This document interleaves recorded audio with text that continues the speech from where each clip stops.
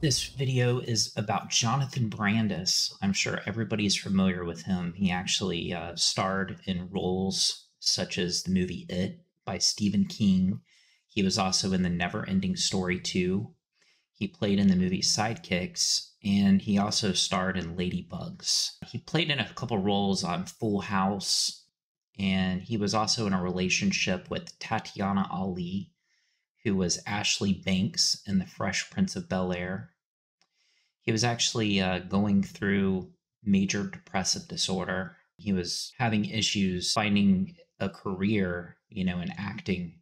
But the sad thing is, he was actually only making, he made like $400,000 over his entire acting career, which some people say that, you know, that was the reason that uh, he actually passed away but it actually happened at a party at his house with a bunch of friends.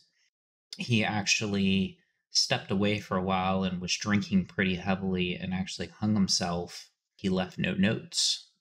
Now, what is interesting about Jonathan Brandis is he was actually with Brittany Murphy, who recently passed away as well.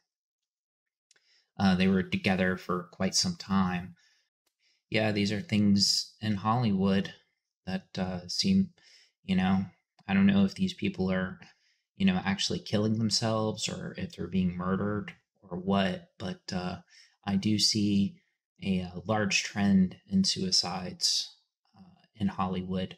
I don't know, maybe it's the pressure, maybe it's being overwhelmed. Let me know what your thoughts are.